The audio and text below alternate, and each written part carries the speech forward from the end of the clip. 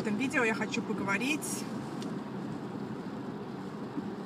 о том, почему я не пользуюсь услугами русскоязычных а, иммигрантов в Америке, в частности, а, врачей, а, риэлторов, парикмахеров, ну, такого плана людей. Ну, прежде чем вы начнете орать что-то типа русофобка, да как ты посмела, а, сама такая и все такое. Но я хочу сказать, что я имею в виду людей именно в Америке наших, вот русскоязычных. Не в России. В России у меня никаких проблем. Я с удовольствием пойду к любому там русскому врачу, а, риэлтору и тому подобное. В Америке я их услугами не пользуюсь никогда.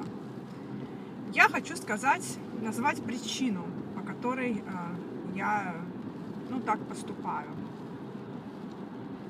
А, прекрасно. Авария. Вот. А, причина, я бы сказала, скорее всего, одна и очень такая веская. Причина заключается в том, что очень часто у наших э, людей, которые приезжают в Америку, а под русскоязычными я имею в виду ну, весь Советский Союз бывший.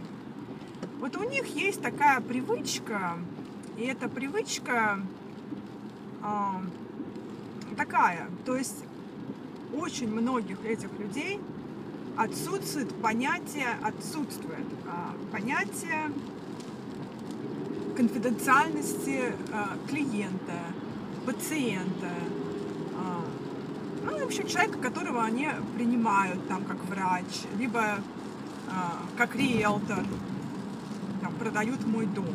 Но что я под этим имею в виду? Вот, например, я очень-очень часто вижу, вернее, в интернете читаю блоги там какие-то русскоязычных там врачей, врачей, там, медсестер. И вот эти люди в этих блогах очень любят обсуждать своих клиентов, пациентов. То есть вплоть до того, что там, а, ну я вот вам покажу один блог, когда приеду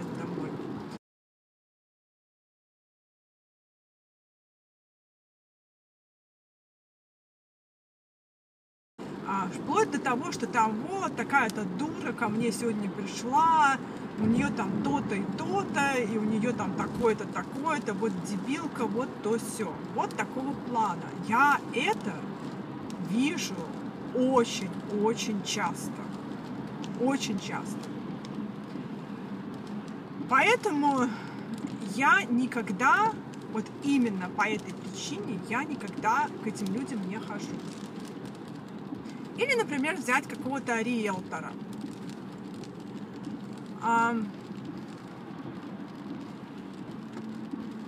этот человек, например, вот русскоязычный, этот человек, например, совершенно, у него нет никаких проблем с тем, чтобы, например, а, прийти в твой дом, например, который он продает, и а, привести туда там каких-то своих подруг, друзей, мужа или там еще что, и а, притащить туда камеру, рыться в твоих вещах, там,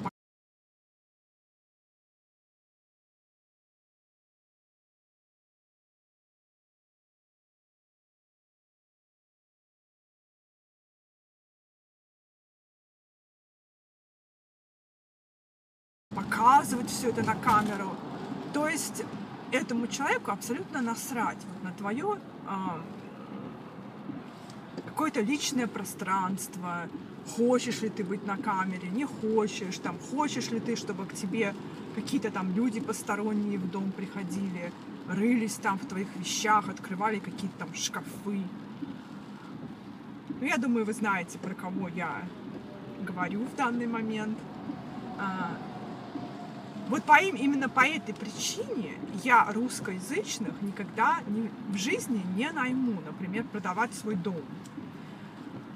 Или прихмахеры. Вот прихмахеры русскоязычные. Все говорят, о, в Америке не умеют стричь, нужно идти к русскому. очень много русскоязычных парикмахеров в Америке, они приехали из всяких там, ну, не знаю, всяких жоп, там, деревень и тому подобное, маленьких городков. Эти люди, кстати, тоже часто они застряли в каком-то там 90 каком-то году. Я не хочу сказать, что все такие. Есть, конечно, хорошие мастера, но пока я еще ни одного не нашла. То есть я вот прихожу к парикмахеру, я смотрю на ее голову, и я понимаю, что э, мне это не надо. То есть, если она не может у себя на голове создать что-то приличное, то у меня абсолютно нет никакого желания доверять ей, например, свои волосы, потому что она из меня сделает какую-то там бабу районного масштаба из какой-нибудь там, не знаю, Зажопинской области. Ну, вот это вот причина основная, по которой я ну, не пользуюсь услугами русскоязычных а, врачей особенно. Особенно врачей. Потому что ну, ты, ты доверяешь этому человеку какую-то такую свою очень личную информацию.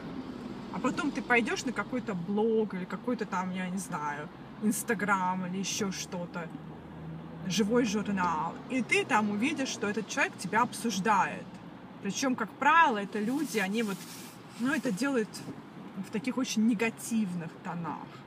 То есть э, им насрать на то, что там ты там пациент или еще кто. Вот признаюсь честно, я такого никогда не видела и не читала у, например, американцев или там, ну я не знаю, может какие-то другие национальности. Ну вот я хочу у вас спросить, те, кто придет на канал и посмотрит это видео, а пользуетесь ли вы услугами русскоязычных специалистов а, за границей именно, не в России, а именно за границей, в Америке, там, в Канаде, где вы живете.